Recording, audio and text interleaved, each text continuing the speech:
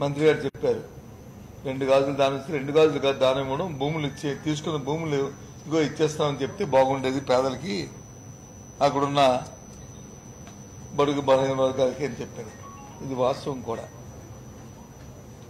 ఆ నేపథ్యంలో చంద్రబాబు నాయుడు గారు మాట్లాడతారు.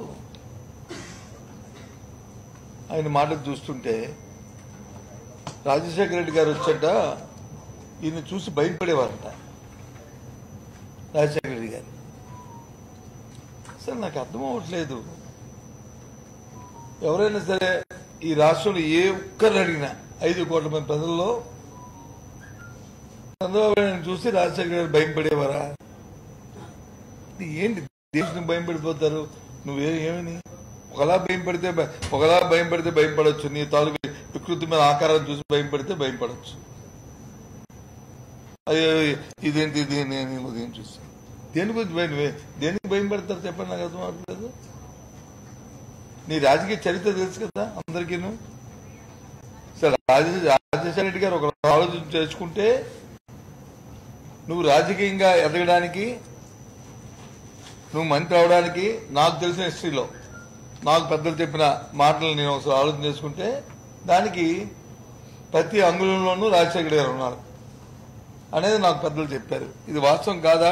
నీ ఆత్మహత్యం చేసుకుని చెప్పు చంద్రబాబు నాయుడు. ఎందుకు ఎలాంటి మాటలు ఎలాంటి డాంబికాలు ఎలాంటి మాటలు మాట్లాడుతావు? దీనివల్ల ఏంటి ఉపయోగం? ఏమిటి కలిసి వచ్చింది?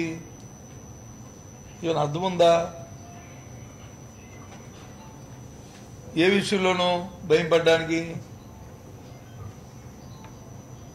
రైతులకి ఇవాళ ప్రభుత్వం చెప్పుకొస్తుంది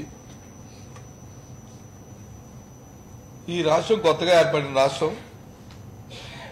ఈ కొత్తగా ఏర్పాటైన రాష్ట్రంలో ఐదు సంవత్సరాలు చంద్రబాబు నాయుడు ఎవరు ముఖ్యమంత్రిగా ఉన్న నేపథ్యంలో ఈ రాష్ట్రానికి కావాల్సిన అవసరాలని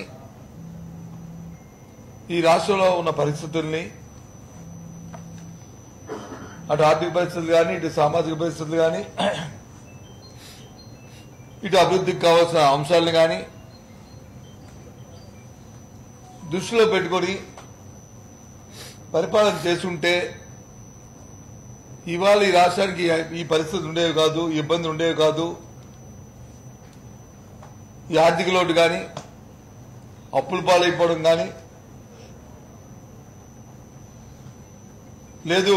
వచ్చిన ప్రభుత్వం మేము వచ్చిన తర్వాత విధానపరమైన నిర్ణయాలు ఈ రాష్ట్ర అభివృద్ధికి తీసుకోవాల్సిన అవసరాలు కానీ లేకపోయి లేకపోయి ఉండేవి. ఐదు సంవత్సరాలు మీ తాలూకు పరిపాలనలో ఇంకో ఇరవై ఐదు సంవత్సరాలు వెనక్కి తీసుకుపోయారు దీన్ని. రాష్ట్రాన్ని అప్పుల పాలు చేశారు. సుమారు లక్ష తొంభై ఐదు వేల కోట్ల రూపాయల్ని అప్పులు చేసి ఎక్కడా కూడా ఫైనాన్షియల్ డిసిప్లిన్ లేకుండా ఎఫ్ఆర్బిఎంని క్రాస్ అయ్యి ఫిజికల్ మేనేజ్మెంట్ ఎక్కడా కూడా ఫైనాన్షియల్ ఫిజికల్ మేనేజ్మెంట్ ఎక్కడా కూడా లేదు. చేయడంతో ఇవాళ అంతా ఇబ్బందులు పడుతున్నాం. కొన్ని ఏదైనా సంక్షేమ కార్యక్రమాలు చేస్తారంటే అవి లేవు. ఇవాళ వచ్చి ప్రభుత్వం ఒక కమిటీని ఒక నిపుణుల కమిటీని వేసింది అప్పుడు విభజన జరిగినప్పుడు. శ్రీరామ్ ముందొచ్చి శ్రీకృష్ణ కమిటీని వచ్చి వేసి రాష్ట్ర విభజన జరగాలా వద్దా అవుతా పోతుందా ఏం చేయాలన్న ఆలోచనతో శ్రీరామకృష్ణ కమిటీ వేసింది. ఆ కమిటీ కొన్ని ఫైండింగ్స్ ఇచ్చింది. ఉన్న రాష్ట్రంలో ఉన్న ప్రజల తాలూకు ఇమోషన్స్ని అక్కడ ఉన్న సెన్సిటివ్ ఇష్యూస్ని ఆ ప్రాంతాల్లో ఉన్న జరిగిన డెవలప్మెంట్ బేరీజ్ చేసుకుంటూ ఇంకేమి జరగపోయేది ఏం జరుగుంటే ఇలాంటివి వచ్చేవి కాదు. అవన్నీ చెప్పింది. అయినప్పటికీ అప్పుడున్న పరిస్థితుల్లో నాశనం జరిగింది. జరగడానికి కారణం ఎవరు? అందరికంటే ముందు ఎవరైనా గొప్పకుమని చెప్పేస్తారేటో ఒకవేళ వెనక బెంచీలో అయిపోతారేటో అని పాలిట్ బ్యూరో తీర్మానం చేసి తెలుగుదేశం పార్టీ రాష్ట్ర విభజనకి మీ మద్దతు ఇస్తామని చెప్పిన మా అంశం ఈ రాష్ట్ర ప్రజలు మర్చిపోరు అనుకుంటున్నారా?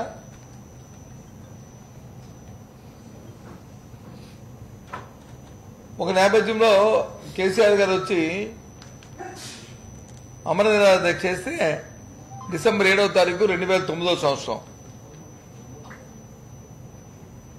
హోమ్ హోమ్ మినిస్టర్ గారు ఆ రోజున అప్పుడు ముఖ్యమంత్రి రోసయ్య గారికి ఫోన్ చేసి అఖిలపక్ష సమావేశం పెట్టి పార్టీ తన నిర్ణయాన్ని పంపించండి అన్నారు. ఆ పార్టీ ఆ పార్టీ ఆ సమావేశంలో నేను కూడా పాల్గొన్నాను. ఫస్ట్ మైక్ తీసుకుని మాట్లాడింది తెలుగుదేశం పార్టీ తరఫున అశోక్ గజరాజు గారు. ఆయన బతికే ఉన్నాడు. ఆ పార్టీ తరఫున నలుగురు వచ్చారు. ఒకరు చనిపోయారు. ఆయన నాగం జనార్దన్ రెడ్డి గారు ముద్దు లేట్ ముద్దుకృష్ణ నాయుడు నోముల నరసయ్య నోముల నరసయ్య కాదు. ఆయన నల్గొండ నుంచి ఉంటారు ఆయన. ఇప్పుడు తెలుగుదేశం పార్టీ రిజైన్ కూడా చేశారు. నోములు కాదు ఇంటి పేరు.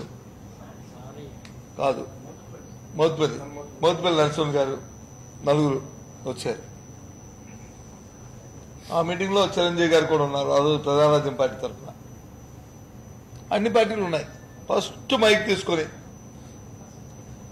ఇంట్రొడక్షన్ చెప్పారు రాసయ్య గారు.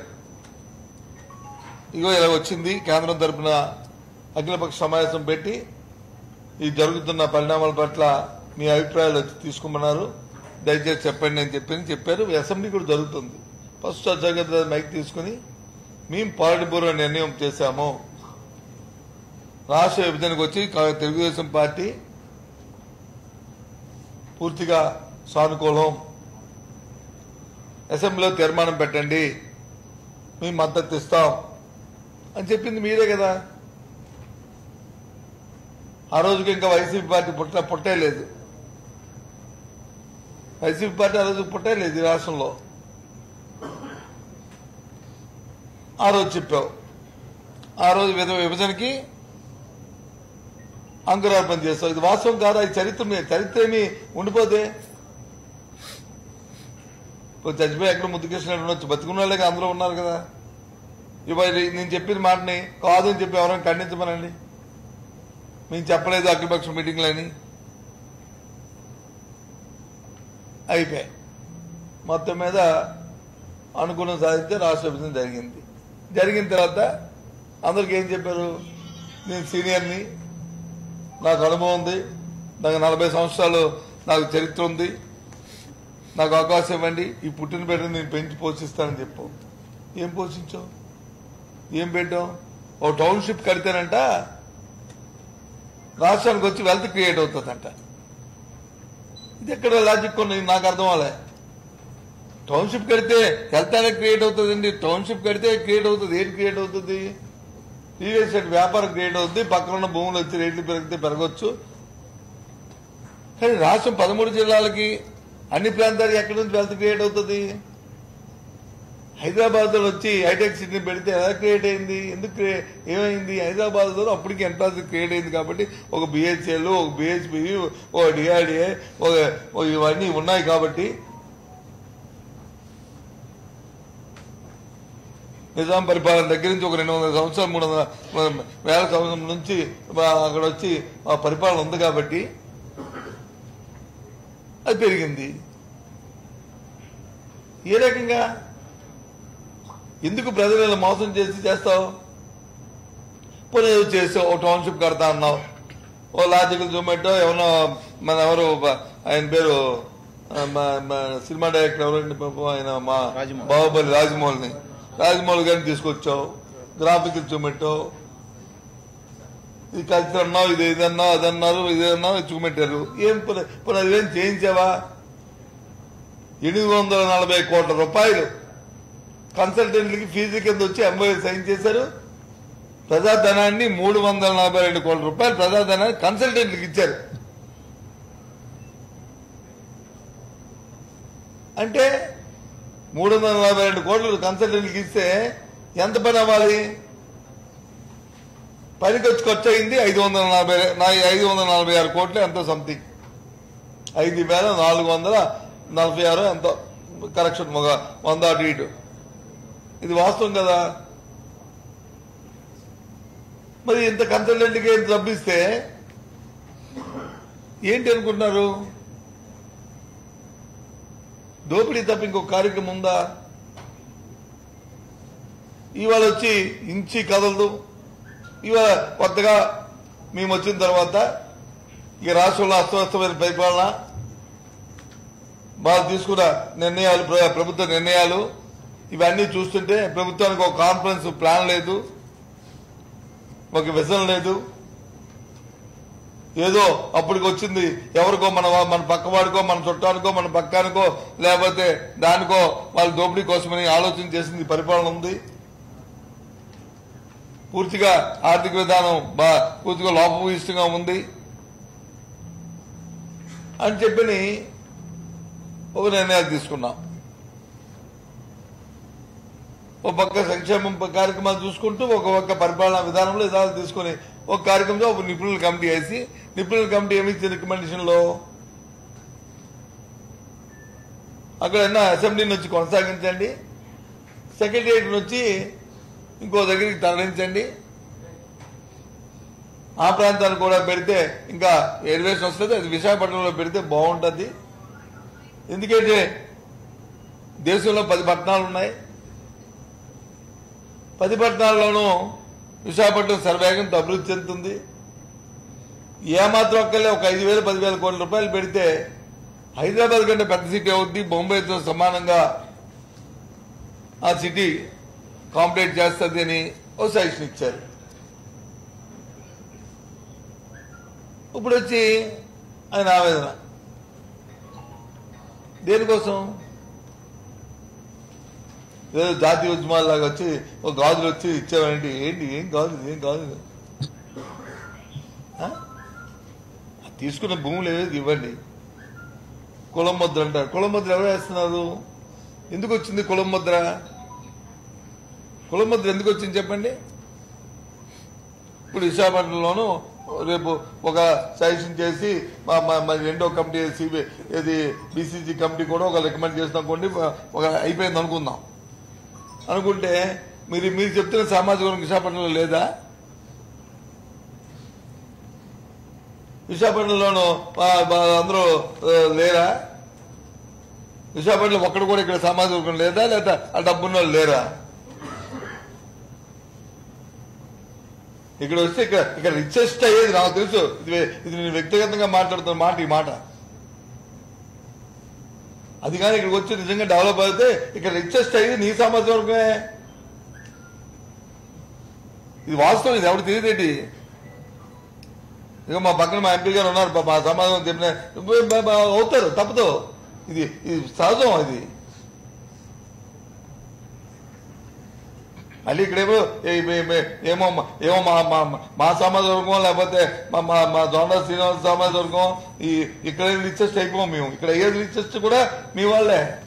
చంద్రబాబు నాయుడు ఇది ఎందుకు అది ఇలాంటి మాటలు కులాల గురించి బాధల గురించి ఎందుకు ఇలాంటి పనికి మాటలు మాట్లాడతావు?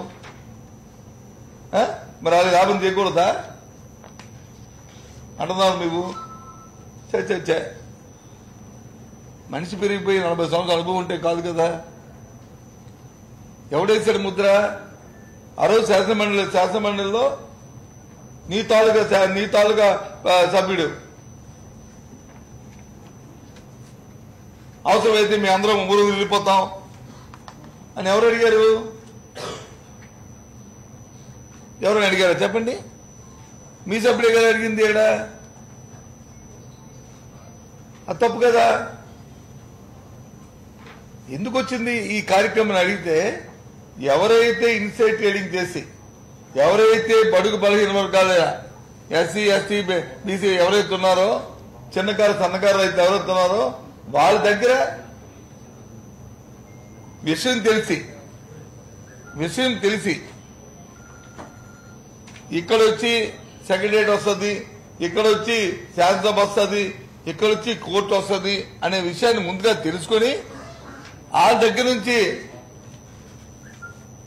రేపు వచ్చి ఒక కోటి రూపాయలు రావాల్సిన భూమిని లేదా రెండు కోట్లు రావాల్సిన భూమిని ఇవాళ వచ్చి పది లక్షలకి ఇరవై లక్షలకి దోచేశారు అనేది ఒక వచ్చింది ఆరోపణ. ఆరోపణ కాదు ఇది వాస్తవం. అది వాస్తవం. అంతే కదా? దానికి వచ్చి ఊరిక వచ్చింది. కాదని చెప్పింది ఖండించి చెప్పనండి. ఇప్పుడు మా మా మా ఫైనాన్స్ మినిస్టర్ గారు పేర్లు చెప్పారు.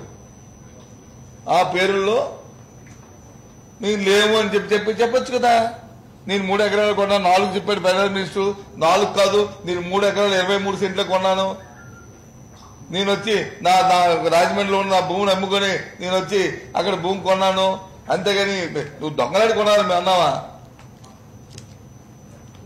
మీరు? ప్రకటన రాకముందు కొన్నారా లేదా? ఇప్పుడు వైజాగ్ ప్రకటన చూచాయిగా వచ్చింది. రేపటి నుంచి ఎవరైనా కొనుక్కోని అనుకో దానికి ఎవరికి అబ్జెక్షన్ లేదు. ఇదే రెండు నెలల ముందో నెల ముందో మాలాంటి వాళ్ళు ఎవరైనా కొన్నారనుకో ఇక్కడ అది ఆరోపణ. అది తప్పు. ఇంకెవరో కొనుక్కొని వేరు. రియల్ ఎస్టేట్ వ్యాపారం చేసుకుని కొనుక్కోవడం పర్వాలే. అది కొనుక్కోవడం అమ్ముకోవడం చేసుకుంటారు. ప్రత్యక్షంగా సందర్భం లేకుండా ఆ అవసరం లేకుండా ఆ వ్యాపారం చేస్తే తప్పు. లేకపోతే అక్కడ విజయవాడలోనూ విజయవాడలోను అనంతపురంకి కర్నూలుకి లేకపోతే విశాఖపట్నం వాళ్ళకి అక్కడ ఏం అవసరం అండి? భూములు కొన్నాక ఎప్పుడు కొన్న వాళ్ళు అది తప్పు. అది అది సీక్రెసీ ఏదైతే ఓటుకి పో- మనం ప్రమాణ స్వీకారం చేసాం చేసామో అది తప్పు చేసావు చంద్రబాబు నాయుడు గారు. నువ్వు నీ నీ తాలూకు క్యాబినెట్ మంత్రులు నీ సహచరులు నీ తాబేదారులు అని చెప్తున్నాం. అది కాదని చెప్పండి. పేరుతో సార్ చెప్పావు హెరిటేజ్ కొన్నది. ఎందుకు కొన్నది హెరిటేజ్ అంటే డెవలప్మెంట్ మా వ్యాపార అభివృద్ధి కొరకు. ఎస్ కరెక్ట్ కొనొచ్చు తప్పు కాదు. కానీ ఇప్పుడు కొనాలి? ఓ రెండు సంవత్సరాల ముందు? లేదా చంద్రబాబు నాయుడు గారు ముఖ్యమంత్రి అవ్వక ముందు కొంటే ఇట్స్ ఫైన్. బాగా పెద్దలే చంద్రబాబు నాయుడు ముఖ్యమంత్రి అయిన తర్వాత రాజధాని ఇంకా పెడతారు అన్నప్పుడు కొంటే ఎవరు కోల్దాన్ని ఎవరి మీద ఎందుకు అమాయకంగా చెవులో పూలు పెడతారు?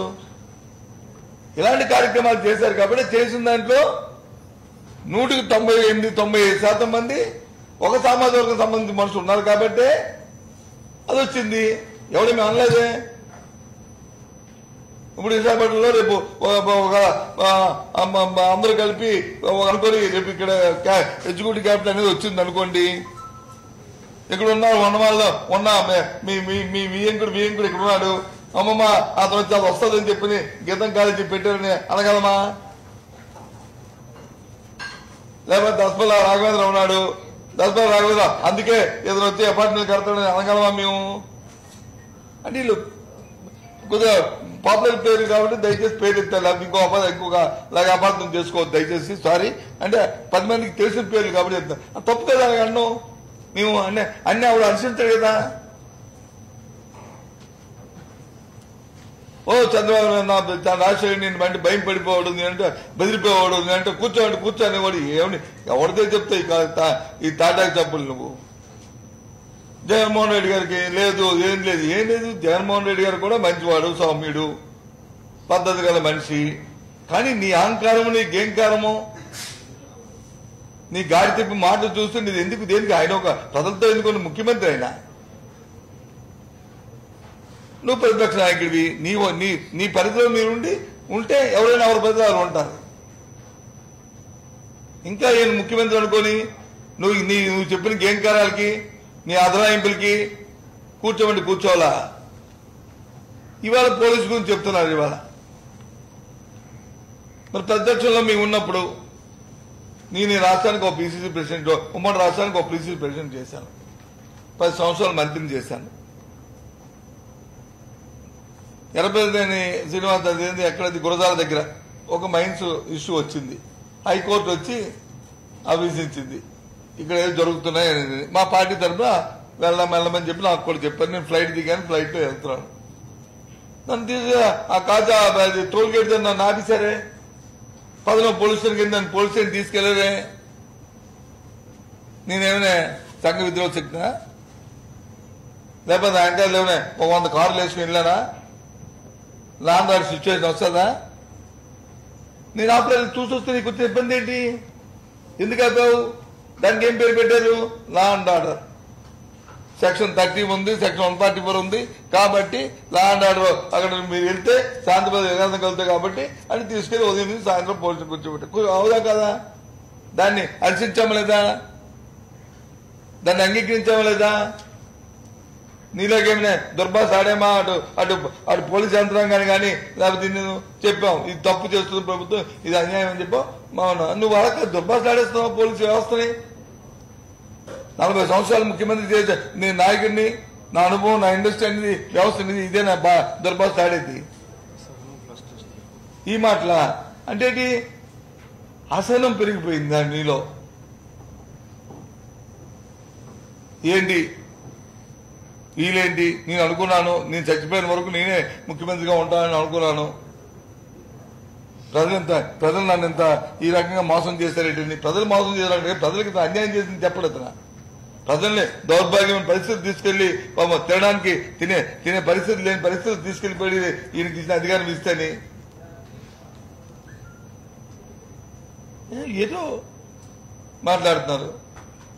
పవన్ కళ్యాణ్ వెళ్తేప్పుడు వచ్చి ఆ రోడ్డు వెళ్తే ముఖ్యమంత్రి ఎవడు? అతను ఎవడు ముందు? ఇతను వెళ్తాడు ముందు అతను వెళ్తాడు ముందు. ఎన్నిసార్లు నువ్వు ఇప్పుడు ప్రతిపక్ష నువ్వు మీ మంత్రివి? మేము వెళ్తున్నప్పుడే నువ్వు వస్తున్నావంటే మా కాన్వాయ్ ఆఫీసి నీకు తో- ఎందుకంటే నువ్వు మాకంటే ఎక్కువ సెక్యూరిటీ నీకు Z category Z plus category ఇంకేది కేటగిరీ బ్లాక్ కేటగిరీ ఏదో ఉందని నీకు. అది కరెక్ట్గా నాకు నేను దాన్ని ఫాలో అవ్వట్లేదు కానీ సరేలే మాకెందుకు ఏ కేటగిరీ అని చెప్పి నీ- మా లాభి నీకు ఇస్తున్నది అదే అతనికి ఎందుకు ఇవ్వాలి? నేను మంత్రి కదా నేను అధికారం ఉన్నాను కదా అని మేము అన్నావా ఆ మాత్రం ఆలోచన ఆ మాత్రం ఆమె ఇంగిత జ్ఞానం ఆలోచన లేదా?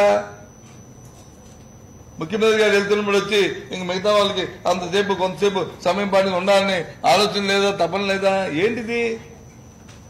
ఏమనుకుంటున్నావు నీ ఉద్దేశంలోను? రోజు ఏం మాట్లాడుతున్నావు? ఇష్టం వచ్చినట్టుగా ఓహో ఇష్ట రాజ్యంగా మాట్లాడుతున్నాడు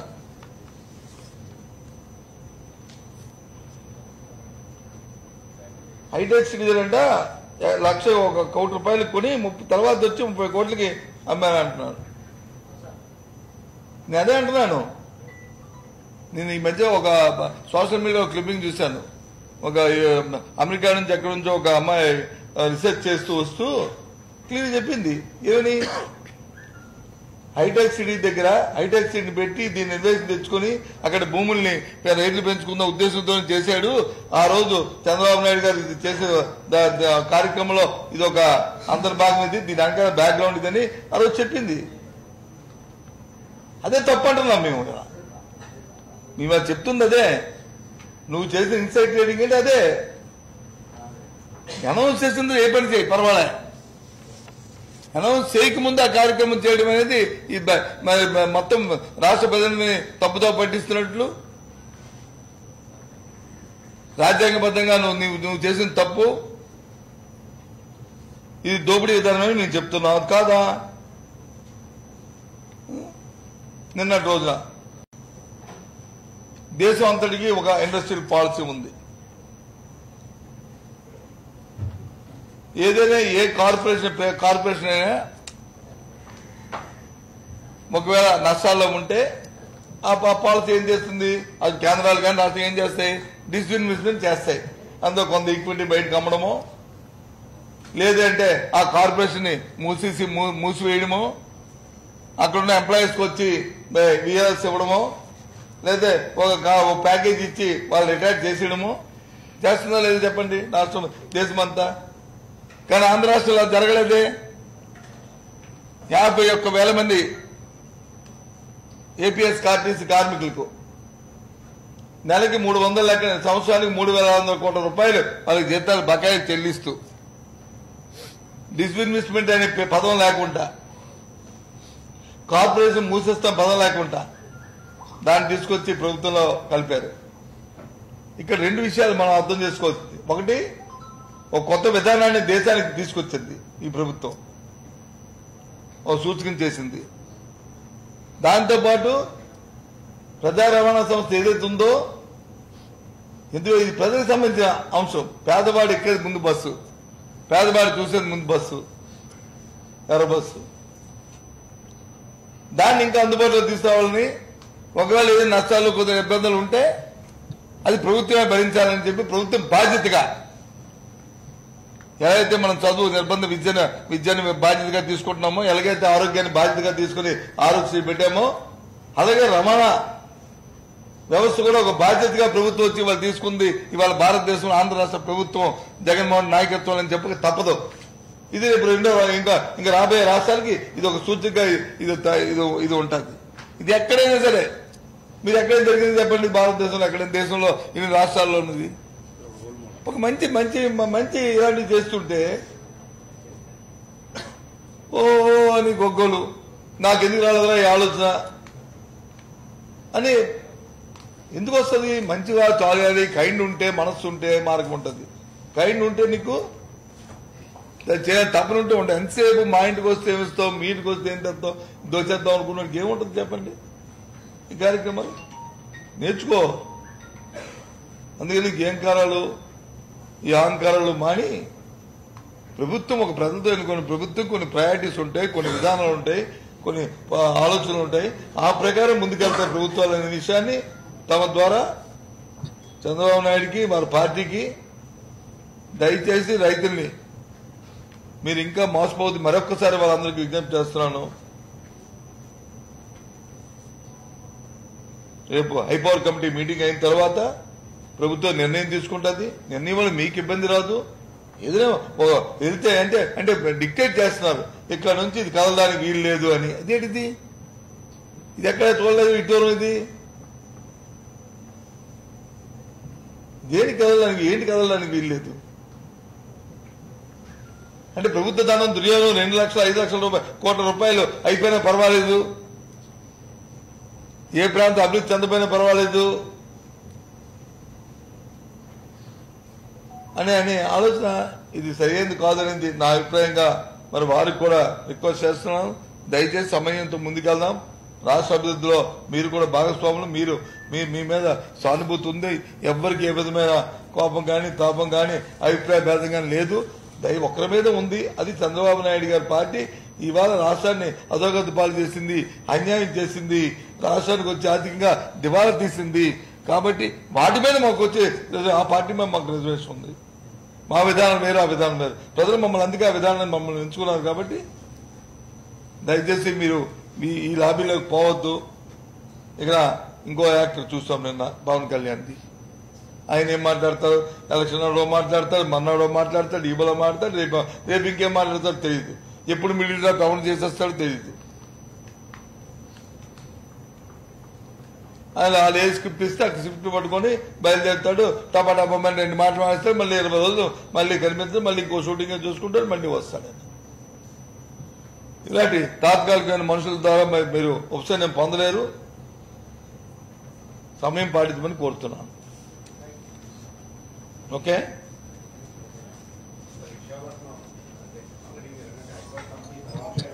ఉమ్.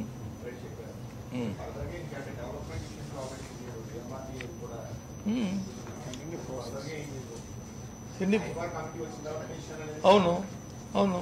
హైబ్రిడ్ చేస్తున్నాం కదా విశాఖపట్నం విశాఖపట్నం ఉత్తరాంధ్ర జిల్లాలతో పదమూడు జిల్లాలతో పాటు ఉత్తరాంధ్ర జిల్లా కూడా అభివృద్ధి చెందాలనే ఆలోచనతోనే కార్యక్రమాలు చేస్తున్నాం.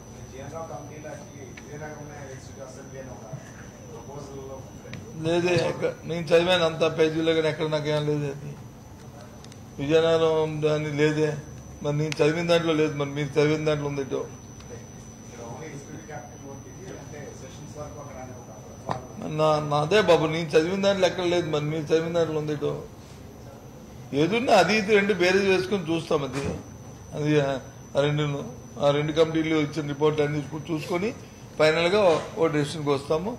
అది జరుగుతుంది అది జరుగుతుంది. అంతేగాని విజయ ఏదమ్మా?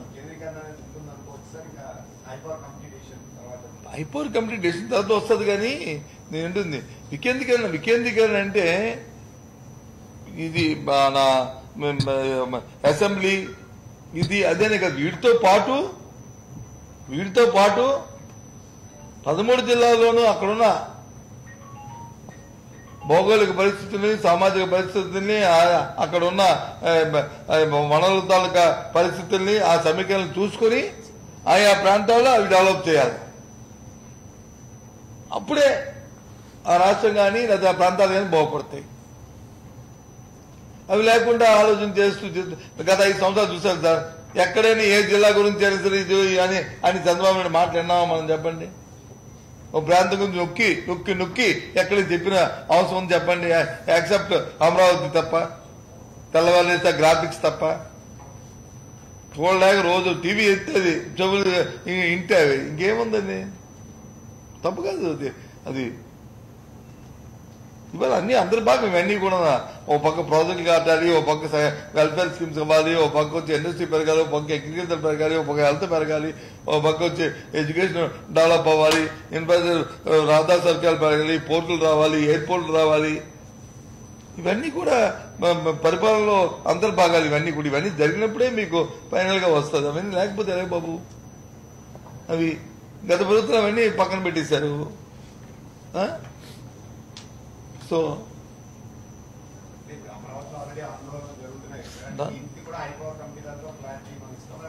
ఏం జరుగుతుంది? దానికి ఆ- జరుగుతున్న ఆందోళనకి ఐపవర్ కమిటీకి సంబంధం లే. చెప్తున్నాం కదా గంట గంటకి. ఇప్పుడు నేను చెప్పాను అది ఇంకో మంది చెప్పాడు అది ఇంకో ఏ ఇంకేం చెప్పాలి? చంద్రబాబు నాయుడు చెప్పినట్లు అయితే చంద్రబాబు రాసిచ్చింది మేము కానీ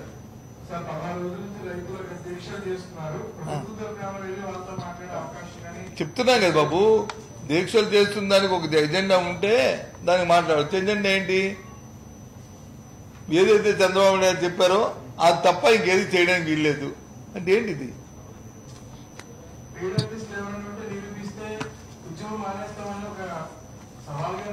ఏమో అవి ఏది మాట్లాడినా గత ప్రభుత్వంలో మేము చూసాము. గత సారీ గత మన మన మనం జరిగిన పరిస్థితుల్లో మనం చూసాము. పెయిడ్ ఆర్టి పెయిడ్ ఆర్టిస్ట్ అన్నప్పుడు వచ్చి మా అనిల్ మంత్రి మీద ఓ తలపాగా చుట్టుకుని ఓ చౌదరి ఏ రకంగా మాట్లాడాడు ఎంత అసభ్యమైన పద్యాలు మారాడు నిన్న ఈ మధ్య మా- ఈ మధ్య సోషల్ మీడియాలో చూస్తున్నాము. మా నాయకుల మీద మా మీద ఈ రకంగా మాట్లాడుతున్నారు.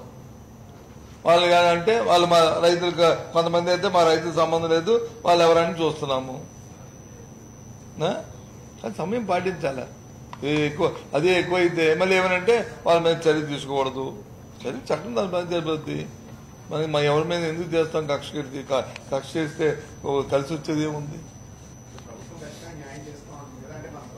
కదా భరోసా ఇచ్చాం కదా ఇప్పుడు కూడా ఇస్తున్నాం కదా? నేరుగా నేరుగా చెప్తున్నాం కదా పదిసార్లు ఏదైతే వాళ్ళకి డెవలప్మెంట్ డెవలప్ చేసి ప్లాట్లు ఇమ్మన్నారో డెవలప్ చేసి ప్లాట్లు ఇస్తా అంటున్నాం. ఒక స్టేజ్ అన్నారు కాదు కాదు వాళ్ళ భూమి నాకు ఇచ్చేయండి అని కొంతమంది ఎవరో మాట్లాడారు. పోనీ ఇచ్చేస్తామని మా మంత్రిలో ఒకళ్ళు ఒకరిద్దరు మంత్రులు చెప్పారు. మళ్ళీ మళ్ళీ ఆ ఇస్తే ఇచ్చేస్తామని మళ్ళీ ఈ అటు వస్తున్నాయి. కాదు కదా మేము అంటుంది ఏంటంటే ఏదైతే గత ప్రభుత్వం ఇచ్చిన హామీ ఉందో హామీని నెరవేరుస్తున్నాము. వాళ్ళకి డెవలప్ చేసి పార్టీలు ఇవ్వడాలు, ఆ- టౌన్షిప్ డెవలప్ చేస్తాము. అక్కడ వచ్చి ప్రభుత్వం భూమిని ఉత్తే కూర్చోబెట్టుకోదు కదండి దానికి ఏదో చేయాలి కదా ఆల్టర్నేటివ్ అరేంజ్మెంట్ చేయాలి చేస్తేనే కదా వాల్యూ యాడ్ వస్తుంది. అంత డబ్బు ఖర్చు పెట్టి ప్రభుత్వం డబ్బు అంటే ఇదేమో ఎవరింట్లో జబ్బు చంద్రబాబు ఇంట్లో జబ్బులో డబ్బు కాదు కదా ఇది. ప్రభుత్వం అంటే మనందరిది ప్రభుత్వం. మన మన తాలూ పనులు కడితే అదే డబ్బు. దాన్ని మరి దానికి సక్రమాలను ఖర్చు పెడితే దానికి విలువ విలువ పెరుగుతుంది. ఆ కార్యక్రమం చేస్తున్నాం మేము. అది. ఓకే బాబు. థ్యాంక్ యూ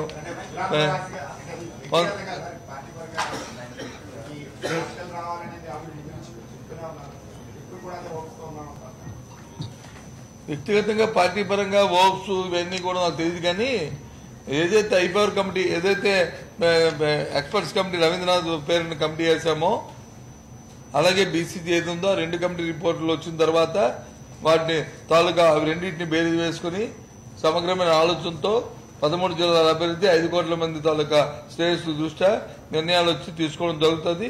అది వెంటనే అంత డిలే కూడా లేదు. టైం టు టైం ఆ కార్యక్రమాన్ని మాత్రం చేస్తాము. ఇది interest of the public and interest of the state okay ఏంటండి? వీడియో నచ్చిందా? అయితే ఓ లైక్ వేసుకోండి. లేదంటే ఓ కామెంట్ చేయండి. ఎప్పటికప్పుడు మా వీడియోస్ చూడాలంటే సబ్స్క్రైబ్ చేసుకోండి.